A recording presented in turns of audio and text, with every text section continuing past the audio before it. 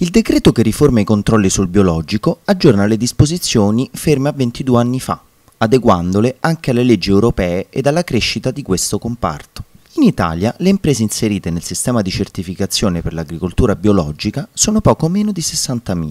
Nel corso del 2015 hanno quindi scelto di convertire la propria impresa oltre 4.500 operatori, con un aumento dell'8,2% rispetto all'anno precedente. La superficie coltivata in Italia è di un milione e mezzo di ettari, con un aumento complessivo, rispetto all'anno precedente, del 7,5%.